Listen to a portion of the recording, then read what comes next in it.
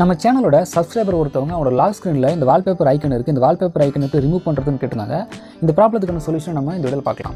இதே ஏன் ஃபர்ஸ்ட் நான் ப்ராப்ளம் சொல்கிறேன் அப்படின்னா இந்த ஆப்ஷன் பேர் வால்பேப்பர் கிளான்ஸ்னு சொல்லுவாங்க. ஒருவேளை இந்த ஆப்ஷன் நீங்கள் ஆன் பண்ணிட்டீங்க அப்படின்னா உங்களோட லாக் ஸ்க்ரீனில் வால்பேப்பர் மாறி மாறி வந்துகிட்டே இருக்கும். அதனால் இந்த ஆப்ஷன் எப்படி ரிமூவ் பண்ணுறது நம்ம இந்த வீடியோவில் டீட்டெயிலாக பார்க்கலாம்.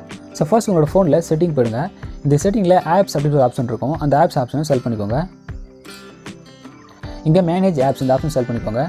இப்போது ரைட் சைடில் இந்த ஆப்ஷனை ப்ரெஸ் பண்ணி இங்கே ஷோ ஆல் ஆப்ஷன் ஒரு ஆப்ஷன் இருக்கும் அதை ப்ரெஸ் பண்ணிக்கோங்க.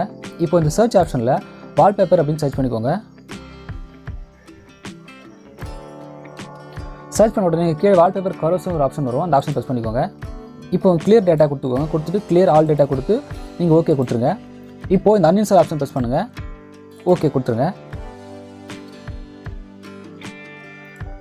ஸோ அவ்வளோதான் இப்போ நம்ம அந்த வால்பேப்பர் கரோஸில் அன்இன்ஸ்டால் பண்ணிட்டோம். இப்போ நம்ம லாக் பண்ணி செக் பண்ணி பார்த்தோம் அப்படின்னா நம்மளுக்கு எந்த ஆப்ஷன் ஷோ பண்ணுது உங்களுக்கு காமிக்கிறேன்.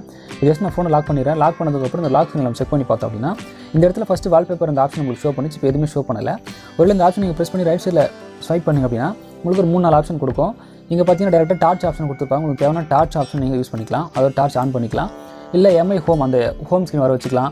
இல்லை எம்ஐ ரிமோட் யூஸ் பண்ணிக்கலாம். இல்லை திரும்ப உங்களுக்கு வால்பேப்பர் கவர்சல் வேணும் அப்படின்னா இந்த ஆப்ஷனை ப்ரெஸ் பண்ணிங்க அப்படின்னா டேரெக்டாக உங்களுக்கு நல்லா காண பிறகு வால்பேப்பர் அந்த அப்ளிகேஷன் ஸ்டோருக்குள்ளே போயிட்டு அந்த வால்பேப்பர் கரோசல் நீங்கள் திரும்ப இன்ஸ்டால் பண்ண போகிறீங்களா உங்களுக்கு வேணும் அப்படின்ற ஆப்ஷன் உங்களுக்கு கேட்கும். உங்களுக்கு தேவையான திரும்ப நீங்கள் இன்ஸ்டால் பண்ணிக்கலாம். ஸோ அவ்வளோதான் வீடியோ ஓவர் உங்களுக்கு இந்த மாதிரி நிறைய ஆண்ட்ராய்ட் டிப்ஸ் அண்ட் ட்ரிக் வேணும் அப்படின்னு சில மறக்காம சப்ஸ்கிரைப் பண்ணி வச்சுக்கோங்க. நன்றி.